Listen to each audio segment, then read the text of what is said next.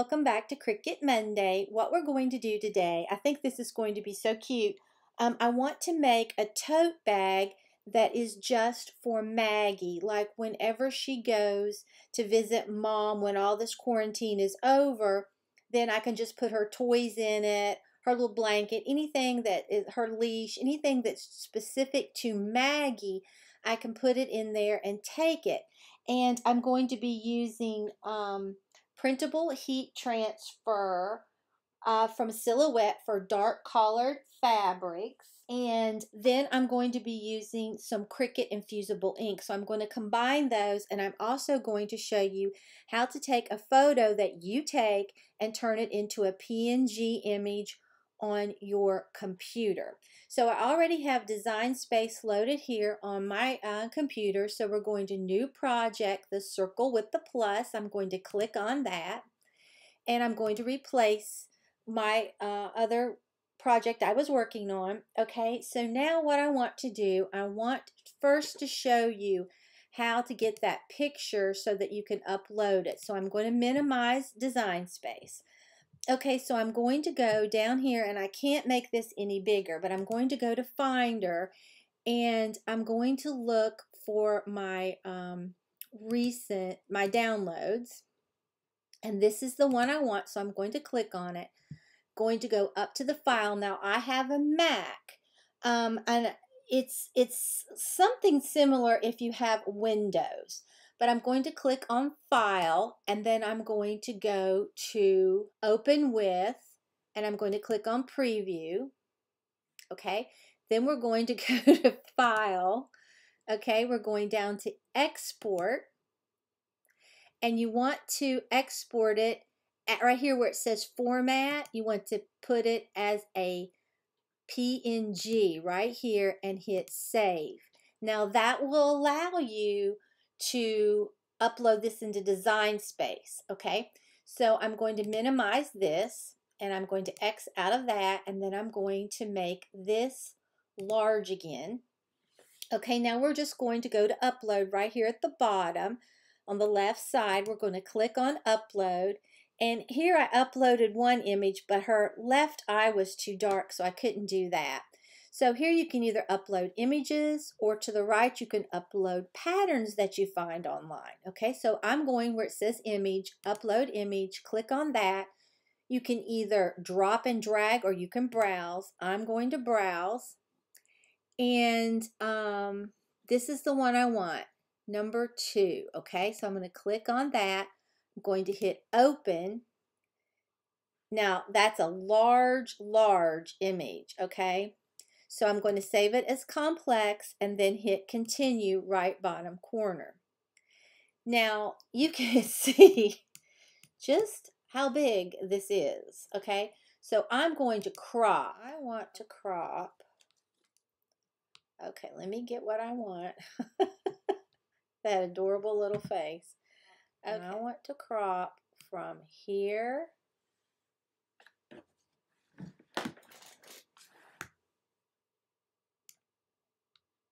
I hope I can take it down a little more.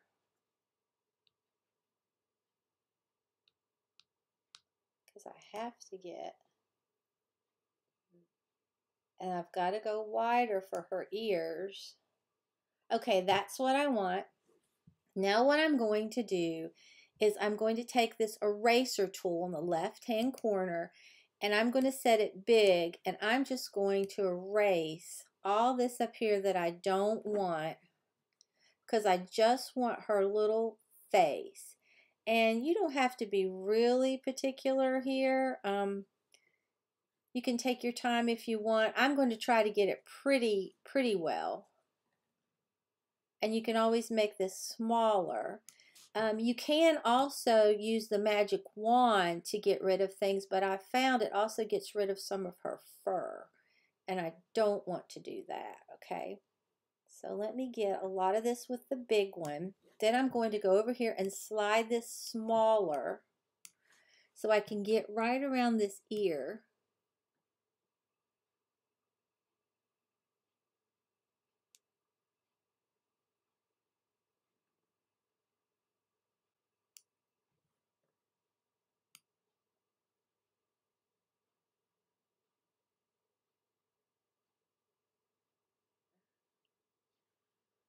Okay, then I'm going to come right over here. I'm going to make this a little smaller. I'm going to clean this up just a little bit. And if you click, it'll take it away too. Like I said, it's not perfect. But this would be hard to get this exactly perfect, I think. Okay, now we're going to scroll up. I've got to get this right here.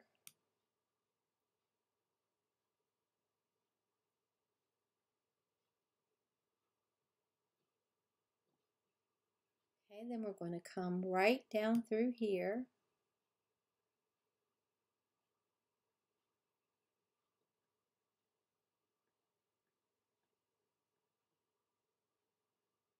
Basically, I'm just tracing around. Then I'm going to go in here, get close right in here as I can. And then I can just take this and make my eraser bigger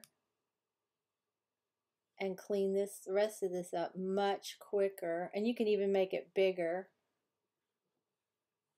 But I don't want to have it too big and lose control.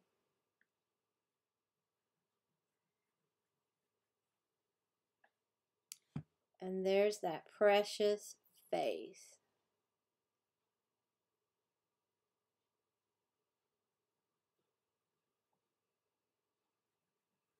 Okay, let's see. I think I'm going to make it a little smaller and get right up here a lot better. Okay, now we're going to go continue right bottom corner. There's our little image. Now I'm going to type in Maggie, comma, face, and just hit save. We'll save it as a print then cut. Okay, now we're just going to click uploaded. It'll put the green box around it and put insert image. And it's going to put this very large image in there and that's just too big, okay? So I think I'm going to make her picture because my tote bag is a 14 by 14. I think I'm going to make the picture. I'm going to go, you can either unlock it here and move it accordingly to however you want it but I'm going to lock it back here and I'm going to go up to the top and unlock that out from size, backspace, and I want her picture, I think, to be 4.75 6 wide by um 5.611 tall and lock it back okay and I think that will give us a nice size. I'm going to scoot that over there. You can see in the layers column, it's a cut then print. Then I'm going to go to text over here on the left, and I'm going to type in um, Maggie's. Oh, and I almost forgot to tell you, I don't want that print. Okay, so for the font, you go up here from font, and there's a downward triangle. Click on that, and I'm going to use, um, I think it's Linotype Apro Com Semi Bold because I think that will be really cute for this. And I'm going to type in Maggie's. Okay, and I want to curve it. Let me make this bigger so you can see. Um, right out here, while you're typing your text, curve becomes an option and here's alignment, here's curve, and here's advanced. Well, if you click on curve, you can slide this and fix it however you want. So let's try maybe like that. And naturally it'll have to be smaller than that, but let me then go back to text again, and it's still on that same font, and I'm going to put pause P-A-W-Z hyphen E-S-S-I-O-N-S for possessions. I think it's funny. Okay, I'm going back to curve. But this time I want it curved the other way. So if you take it backwards, it's going to curve it that way, okay? So let me make this bigger so you can see. Um, let's just stick her face in there and see. I think that's going to be so cute. Um, all right, let's see. How big is that? How many? Let me look. Okay, I'm going to move this up just a little bit. I'm going to move this down just a little bit because I don't want to have it too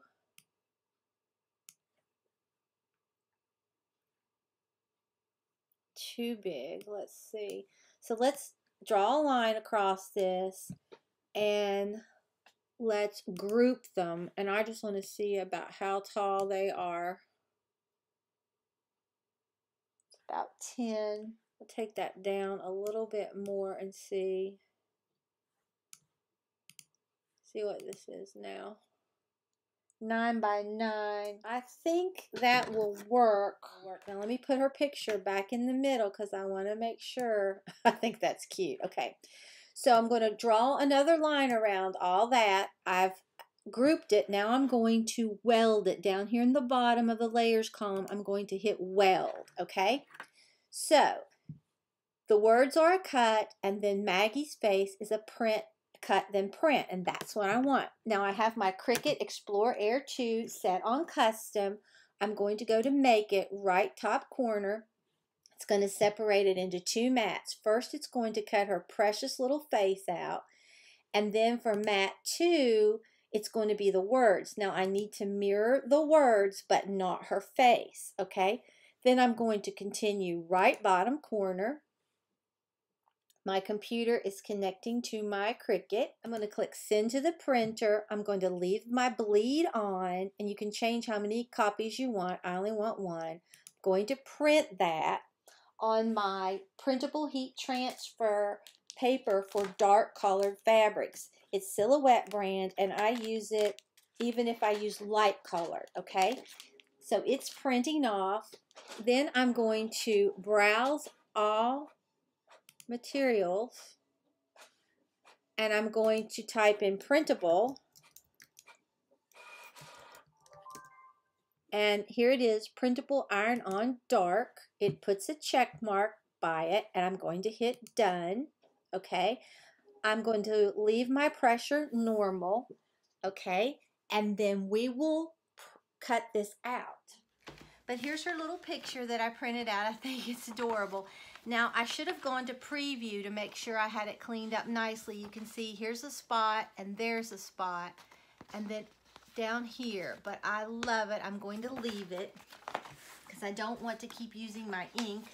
I'm afraid I'll run out. And I printed it. I put it in my computer at this way, in my printer this way, so that it would print on this flat side. Okay, now I'm just going to put this right on here. and I could embellish it with little um, something if I wanted to. We're going to insert it with the blinking arrow and then it's going to cut Maggie out. So it's going to start cutting with the blinking C and then we'll work on our words. It's reading the registration mark right now. But you could even do this, um, you could just put this on your computer um, and turn it into a PNG and then print it out and then just take scissors and cut it out and you could use the Avery sticker sheets and still make something like this for your dog or your child or anything like that. But um, I think it's really cute and then it's just going to peel out like a little sticker. Okay, it's through. I'm going to eject it by the arrow, and then all you have to do, and I'm not going to do it right now because I'm not ready to put it on there, is you'll just peel this off like a sticker, and it's not, I don't think these little areas are going to bother because it's printed, cut them separately, so I think I'm in really good shape. Now we're going to the second one and I need to open this up and then I'll be right back. Okay, now we're going to print the words out, okay? So we want to browse all materials because I'm on the second one, okay? So I want to browse all materials and I want to type in infusible. This is on, okay, and now we'll cut. Okay, this is the infusible ink. It's a tote bag. It's the 14 by 14. It's Cricut. And this is the Silhouette Printable Heat Transfer for dark colored fabrics. That's what I always use. I think you get a better cut. This is how small the tote is. It's a really small one, and that's what I wanted. You wouldn't have to use uh, Cricut. You could get a Dollar Tree tote or any tote that you have on hand. I know we're not going out now. And this is going to be my infusible ink. It just reminded me of her, just so happy. Okay, I'm just going to put this right on here.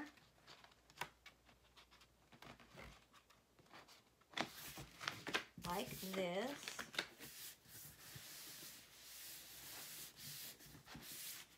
You're really not supposed to touch this a lot. Make sure you don't have any lotion, oils, and your hands are dry.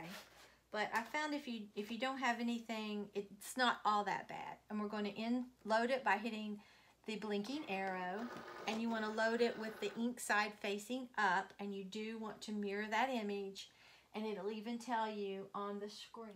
Okay, it's through cutting. I'm going to eject it with the blinking arrow. Well, first I'm going to crack it.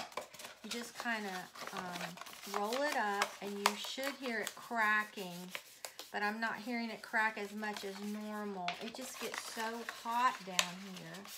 And like I said, I've had this for quite a while. Just take your time and crack it. You just want to get this started. Sometimes that's the hardest thing is to get this started, okay? And you can use vinyl for this. You do not have to use the infusible ink. But I'm going to be washing this a ton.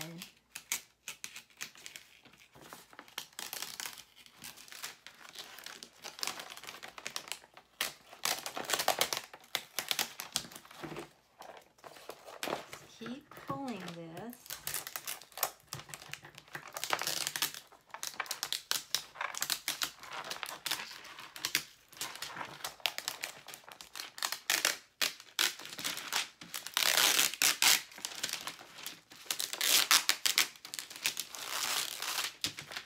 Okay, and then we'll just go ahead and leave the rest of this off. Sometimes it helps just to kind of bend the paper.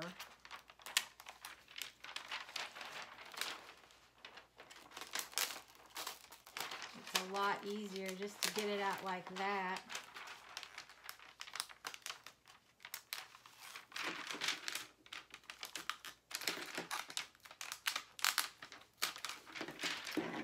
Okay, and I think,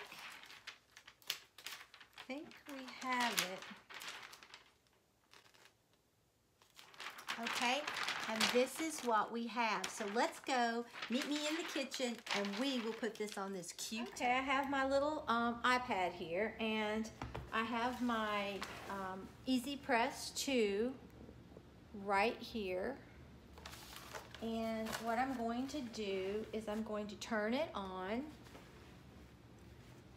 And then I'm going to select infusible ink transfer sheet.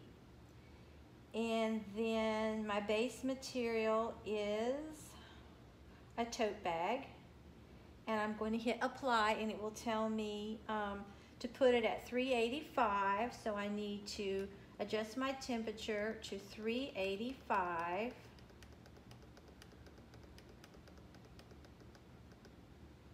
and then the time for 40 seconds. Okay, and it will beep when it's hot enough. And it tells you how to stack it. You gotta preheat this, then place the mat inside your tote bag. So I'm going to put this mat inside my tote bag because it told me all the supplies that I needed. So here's my mat inside my tote bag. Okay, and then, then put cardstock on top of the mat inside the bag to prevent bleed through. So I have two sheets of plain cardstock, and you can reuse your cardstock as long as it um, doesn't have anything on it. Then we're going to cover the tote bag with the butcher paper, preheat for 15 seconds, and remove the butcher paper from the top, and then we will continue. So let me get my lint roller. Okay, I'm just gonna roll this with my, um, my husband has Maggie looking at me through the window. he has her outside, oh my gosh. Okay, I've rolled this with my lint roller, okay? Then I'm going to cover this with some butcher paper. And it has to be larger than the plate, okay, and it is. And we're going to preheat the tote bag for 15 seconds. I'm going to scoot this over. And I'm going to hit the blinking C and just let it count down a little bit. she looks so cute looking at me through the window. If you could see this, you would die. Oh my gosh. I cannot keep my train of thought these days. Okay. All right, so let me go ahead and pick this up. That's heated enough.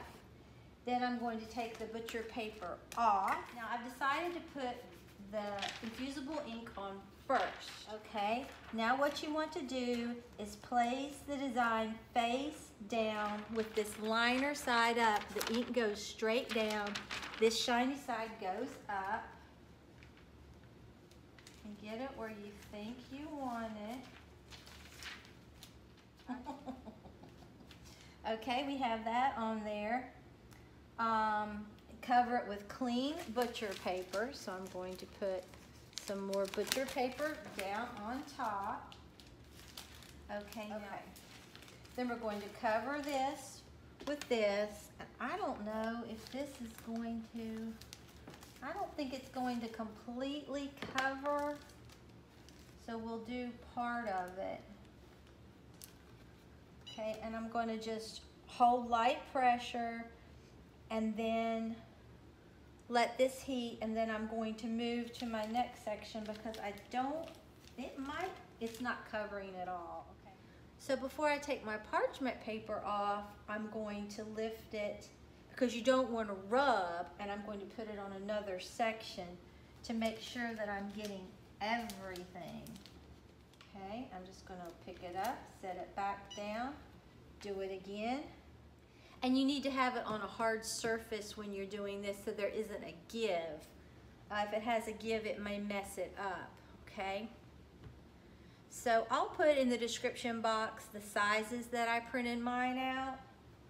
So as soon as I get this on, finished heating, I'll be back. Okay, I'm just going to lift this up. Okay, so now what I'm going to do is slowly remove this while it's still warm and it looks like we had a good transfer.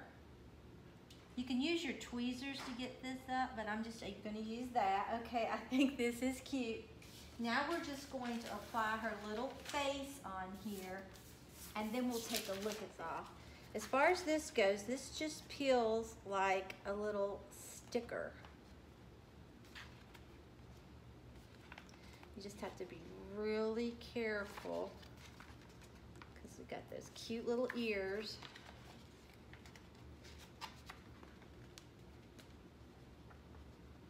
This really isn't a hard DIY, it's just takes some time. And since my husband was watching her, I happen to have time. and here's her little face. Okay, then we're just going to put this where we think we want it so precious. And now I'll know exactly what is hers. Okay, you can use an iron if you want to put this um, printable heat transfer that silhouette for dark colored fabrics down, but I'm just going to use my easy press. I have it set on like 340 and I have this uh, little parchment paper or butcher paper that came with it and I'm going to push it straight down and I'm gonna keep it on there for like 40 seconds. and you don't want to move it. You want to hold it steady. Probably more like 30. So I'm going to pull this up in just a minute. Okay, and we will take a look at this. Oh, God. Okay, I'll let you see. Okay, guys, here it is. It's Maggie's Possessions. I think it's, it's, hilarious. And like I said, I showed you how to take that picture and turn it into a PNG on your computer if you don't know how to do that. You could, like I said, print it out on uh, Avery sticker labels, the picture, and just put it on there and you could just get your animal's face on there if you don't have a Cricut. I think this is so cute. Let's go see what Maggie Here, what do you think? What do you think? Do you like it? Oh, that's Maggie's. You want to put some toys in there? Do you want to put some toys in there? Let's put some toys in there, Maggie. Well, she obviously loves it. Look at the waggy little tail. She loves it. so, so if you enjoyed this video, please give it a big thumbs up and subscribe to my channel. Until next time. Bye, guys.